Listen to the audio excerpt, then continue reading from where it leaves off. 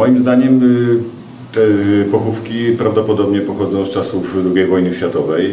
Tak y, stwierdził, y, jeśli chodzi o czas pochowania lekarz specjalista sądowy. Nie wiem, nie mam żadnej wiedzy co do tego, czy to były pochówki żołnierzy, czy jakichś represjonowanych osób w czasie okupacji. Tego nie wiem. Być może tym powinien się zająć IPN, żeby ustalić okoliczności i o ile to możliwe, no, tożsamość tych osób.